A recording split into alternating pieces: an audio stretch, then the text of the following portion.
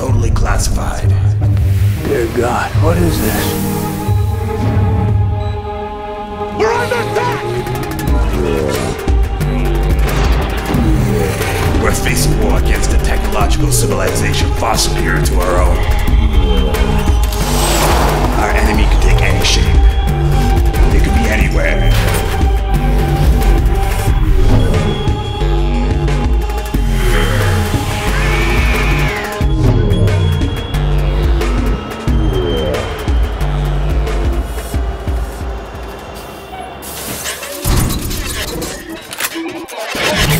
It's a robot. You know, like a super advanced robot. It's probably Japanese.